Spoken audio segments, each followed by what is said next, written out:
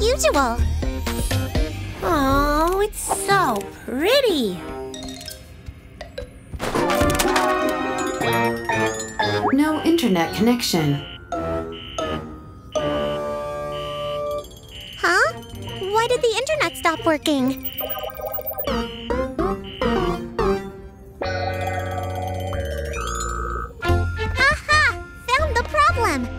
Has been disconnected! Huh? But why do we need a router? Oh, we needed to access the internet. Why's that?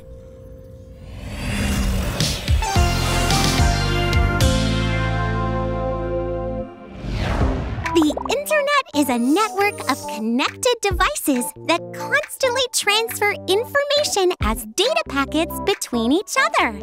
Data packets are transferred over the internet through routers and other devices.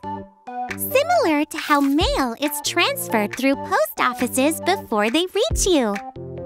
A router is a device that acts like a post office. Receives and forwards data packets between different computing devices. Computing devices can be connected to a router, either wirelessly or with wires, to form a network. When a data packet is received by the router, the router checks its destination address, then sends it through the network to the correct destination. This networking device is quite important. Wouldn't you agree?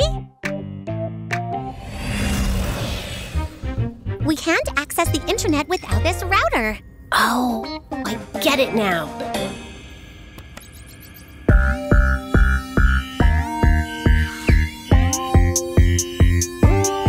Internet connection established.